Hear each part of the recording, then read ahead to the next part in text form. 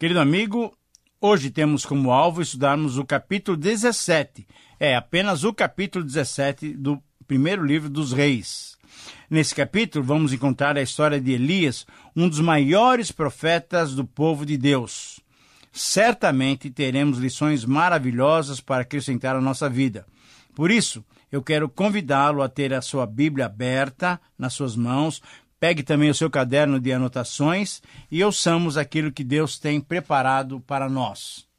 Elias, cujo nome significa Iavé é Deus, foi profeta de Israel no nono século antes de Cristo. O seu ministério foi dedicado ao Reino do Norte, é, a Israel. Você se lembra que o povo de Deus tinha sido dividido. Naquela situação em que Roboão duramente ouviu o conselho dos mais jovens e desprezou o conselho dos mais idosos, houve a ruptura do reino. Roboão então reinou sobre o reino do sul e sobre o reino do norte reinou Jeroboão. E nesses últimos programas nós temos visto uma sucessão de reis que aconteceram a partir de Roboão e a partir de Jeroboão. Elias, então, tem o seu ministério dedicado ao reino do norte, ao reino em que pertenciam as dez tribos do norte, a Israel. Elias, que teve em Eliseu o seu sucessor, eles foram os precursores dos profetas escritores. Assim como Moisés, que foi acompanhado e sucedido por Josué, Elias foi acompanhado e sucedido por Eliseu, que profetizou em seu lugar. Devemos destacar, devemos lembrar que Elias e Moisés estiveram com Jesus Cristo, é, lá no Monte da Transfiguração. Se você tem acompanhado todos os nossos programas, nós já estudamos isso nos três evangelhos sinóticos, Mateus, Marcos e Lucas. O ministério de Elias se deu na época do rei Acabe. Nós falamos isso no último programa. Esse rei Acabe era filho de Onri, que reinou em Israel por 22 anos. Nesse período, Israel sempre se debateu com a Síria porém mantinha laços econômicos com as cidades da Fenícia, é o atual país Líbano. Essa união, esses laços econômicos de amizade com o Líbano ou com a Fenícia, foi motivado pelo casamento entre Acabe e Jezabel. Jezabel, a esposa de Acabe, era filha de Etbaal, rei e sacerdote de Tiro e Sidom, as duas grandes cidades da Fenícia. O casamento foi uma aliança de Israel com o rei de Damasco. Ela era uma adoradora fanática de Baal Tírio ou Melcarte, e a sua vida foi tão distante do Senhor e dos seus padrões que o seu nome, isto é, Jezabel, se tornou um nome proverbial para indicar uma pessoa apóstata, para indicar uma pessoa completamente longe de Deus, conforme você pode conferir em Apocalipse 2:20. Acabe, infelizmente, não manteve o pulso e como era um homem que não amava o Senhor, junto com Jezabel, fizeram dos casais mais distantes da vontade do Senhor a dirigir o povo de Deus. Nesse capítulo 17, nós encontramos com Elias quando ele confrontou o rei Acabe, predizendo uma difícil época de seca por toda a terra de Israel, e quando ele foi orientado a ir para Serepta, exatamente uma cidade no litoral entre Tiro e Sidom, na Fenícia, para ali desenvolver o seu ministério. Aquela era uma região em que a religião cananeia era forte demais e provavelmente por isso mesmo Deus quis que aquele povo visse as suas obras através do seu profeta. Nesse texto, então, nós vamos encontrar sete lições sobre a vida de fé de Elias. A primeira lição se vê na provação recebida, versículos 1 a 7.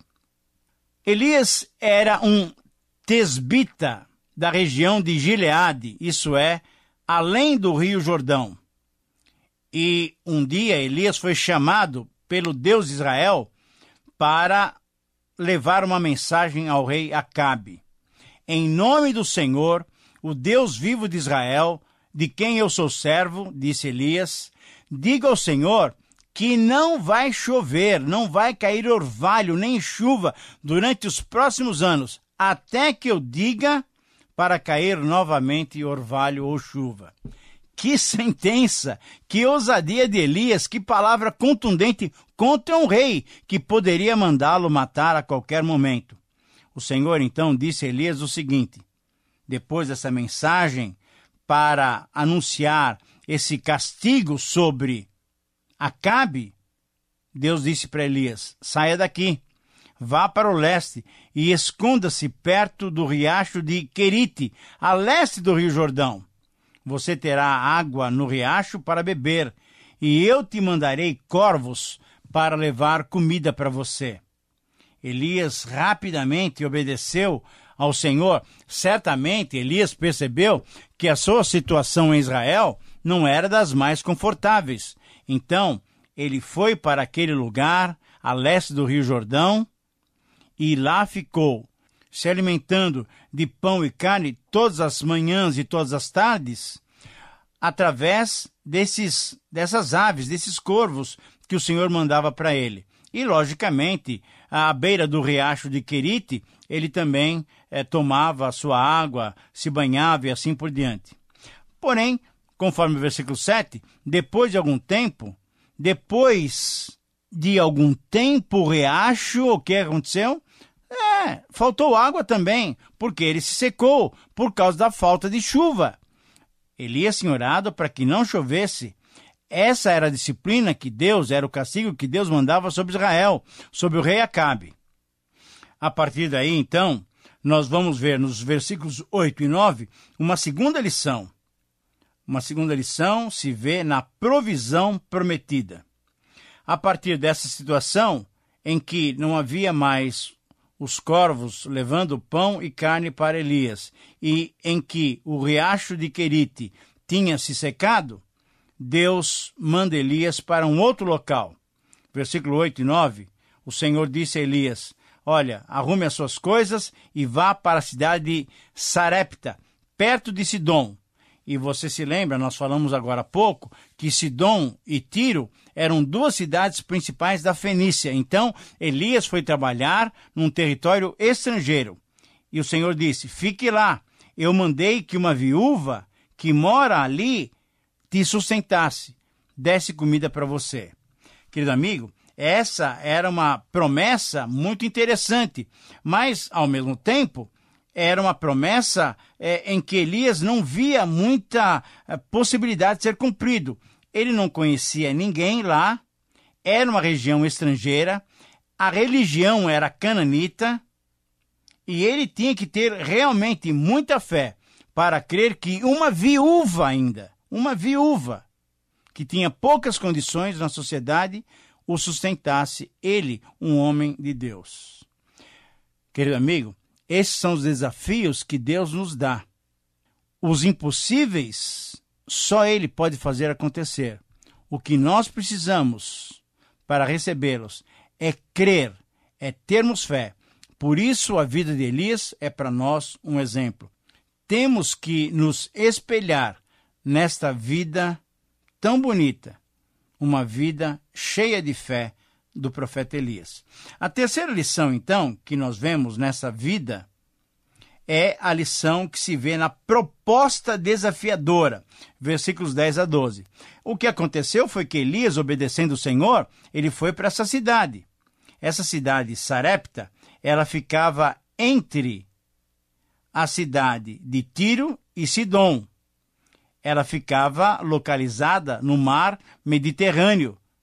Ora, era uma cidade importante, porém não tão importante e não tão grande quanto Tiro e Sidom. E o que aconteceu? Ele chegou ao portão da cidade e lá ele encontrou uma viúva que estava é, catando lenha. E Elias disse a ela: Por favor, ele, como estrangeiro, me dê um pouco de água para beber. E nas regras da hospitalidade daqueles dias, a viúva rapidamente atendeu esse pedido do estrangeiro. Então, quando ela foi buscar água, ele a chamou novamente e disse: Olha, traga também um pedaço de pão para eu comer, por favor. Porém, ela respondeu. E a palavra de resposta dessa viúva é que trouxe um grande desafio para Elias. Nos versículos 10 a 12, nós temos então essa proposta desafiadora. Foi a proposta que Elias fez a esta mulher. Além de pedir água, ele pede agora também alimento, pão. Essa é a proposta muito séria. E aí, essa mulher responde de uma maneira muito óbvia, muito clara. Ela falou: Olha, eu só tenho um punhado de farinha de trigo, eu tenho uma tigela, um pouquinho de azeite num jarro, e eu estou aqui catando alguns gravetos para amassar um bolo, para fazer um bolo e para então dar ao meu filho. Eu quero comer um pedaço e dar ao meu filho um outro pedaço, e aí, sabe o que vai acontecer? Nós vamos morrer, porque nós não temos mais nada para comer. Querido amigo, que proposta desafiadora, tanto de Elias para com a mulher, como da mulher para com Elias. Na verdade, Deus nos coloca desafios para todos nós. Por quê? Porque Deus quer nos trazer mais perto dele. Deus quer que, diante de obstáculos intransponíveis, nós busquemos a sua orientação, busquemos depender dele. Assim é que Deus se agrada de nós, quando nós demonstramos a nossa dependência, o nosso amor, o nosso cuidado, sabendo que Ele tem a solução das nossas necessidades. Elias fez uma proposta, um desafio àquela mulher. Eu quero água e quero alimento. E a mulher fez uma proposta e fez um desafio a Elias.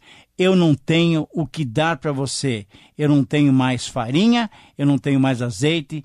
Eu e meu filho vamos comer essa última refeição e vamos morrer. Há impossíveis? Sim. Para nós, humanos, há impossíveis. Mas para Deus, nada é impossível.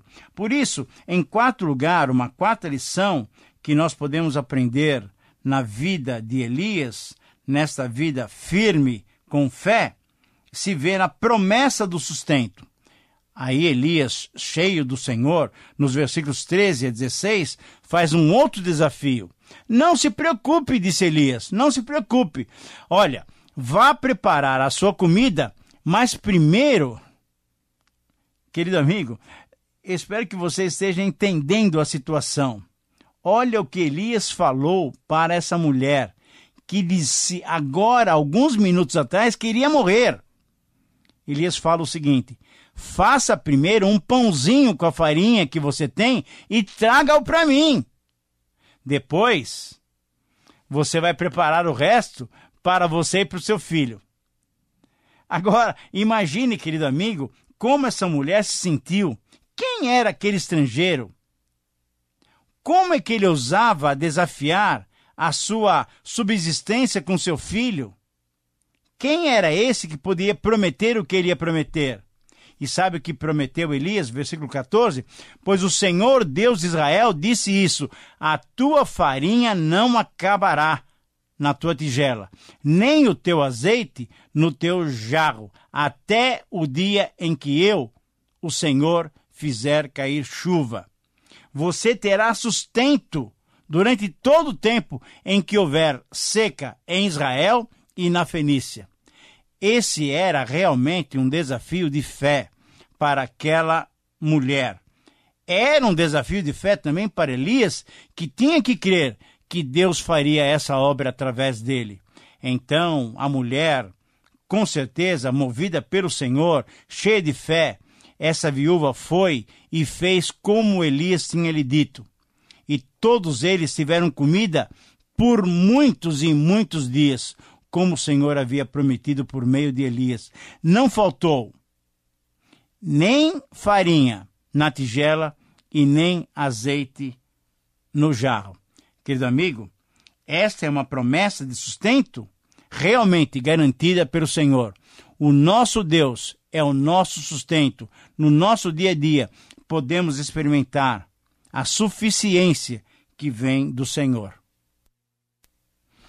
Agora, na sequência do texto, nos versículos 7 a 18, nós temos uma quinta lição, e essa quinta lição se vê no pavor da solidão.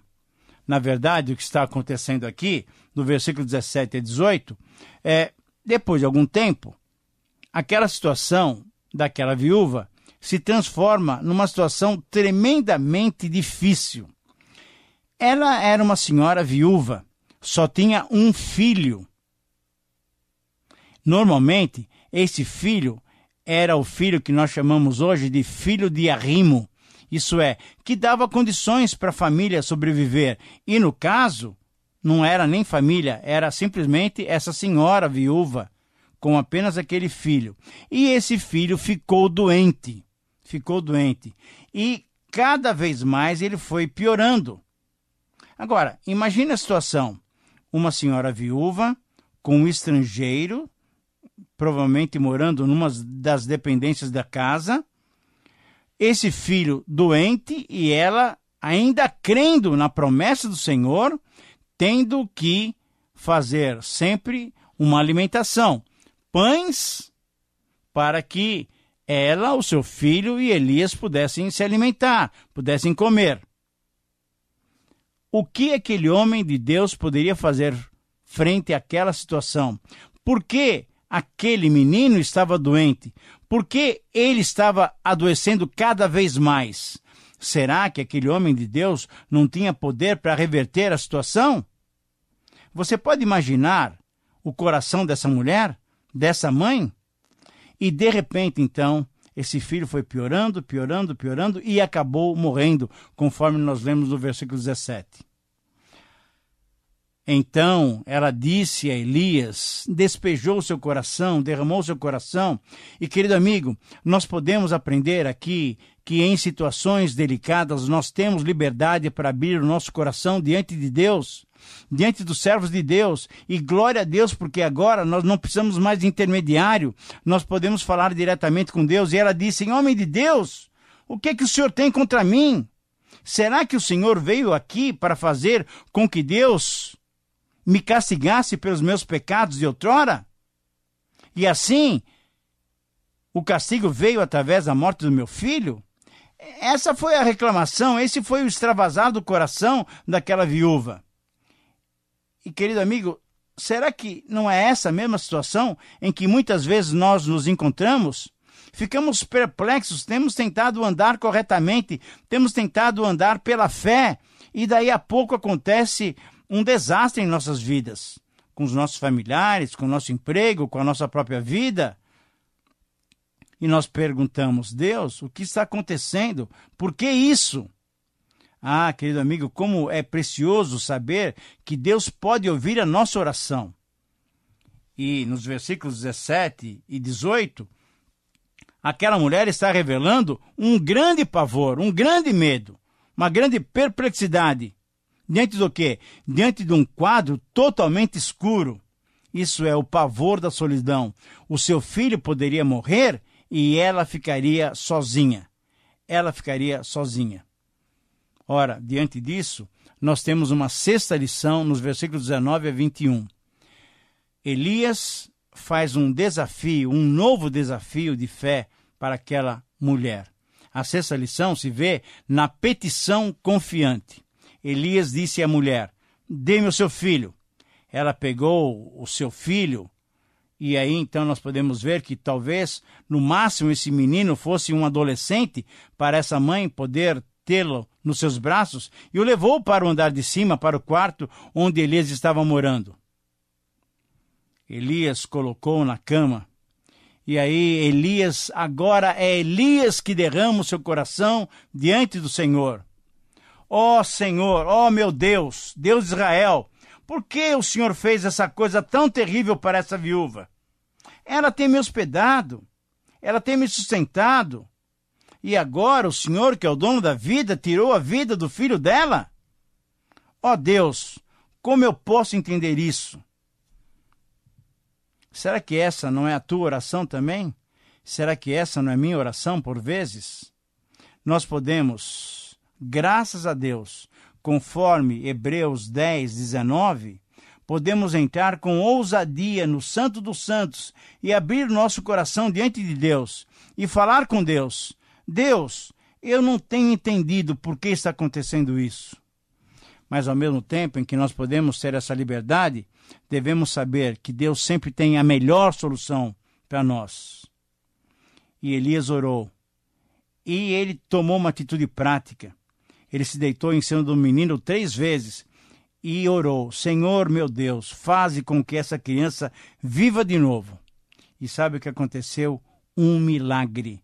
Deus é o nosso Deus vivo, é o nosso Deus de milagre. O Senhor respondeu a oração de Elias e o menino voltou a respirar. Por isso, nós encontramos uma sétima lição nesse episódio, nesse capítulo 17 do livro de 1 Reis, nos versículos 22 a 24. A sétima lição que encontramos é a lição que se vê no pedido atendido. A oração do servo de Deus foi atendida. Muitas vezes nós oramos querendo que Deus faça o que nós queremos, mas na verdade nós temos que admitir que Deus sabe sempre o que é melhor para nós. Ele vai responder conforme o seu querer. Nesse caso, Deus trouxe vida novamente a esse menino. Elias pegou o menino e o levou para baixo para sua mãe e disse: O seu filho está vivo. E sabe o que diz a Bíblia? Lá no versículo 24, nós encontramos o objetivo de toda essa situação. Aquela mulher se converteu. Agora eu sei que o Senhor é um homem de Deus e que Deus realmente fala, age por meio do seu Senhor. Querido amigo, que Deus possa nos usar para despertarmos a fé, a confiança em Deus em outras pessoas, naqueles que convivem conosco. Seja você um instrumento nas mãos de Deus para a glória do seu nome. Que Deus lhe abençoe e até o próximo programa.